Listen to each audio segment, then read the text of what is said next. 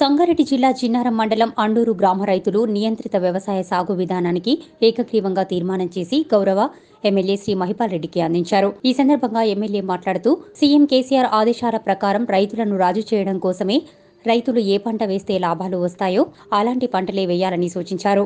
పంటల ఇన్సూరెన్స్ ఖరీఫ్ సీజన్కి విత్తనాలు ఎరువులకు ఎలాంటి కొరత ఉండదని అండూరు గ్రామ రైతులకు వివరించారు.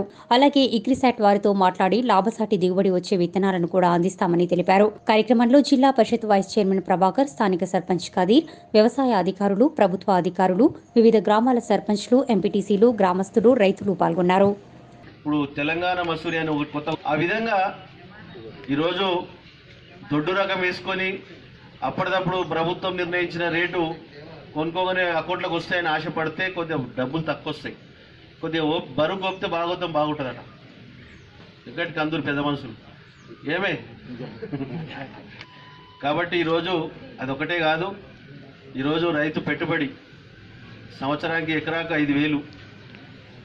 ఈరోజు సంవత్సరానికి పదివేలు వ్యవస్థ ఉన్నాయి. ఇరవై నాలుగు గంటల కరెంట్ ఉంది. మనకు మీరందరూ ఆలోచన చేయండి. ఇంతకుముందు చెప్పినట్టు ఫర్టిలైజర్ కోసం లైన్లో నిలబడి పడిగాపులు కాసేవాళ్ళం. ఈరోజు స్టాక్ ఉన్నది సొసైటీలో. సొసైటీలో స్టాక్ ఉన్నది.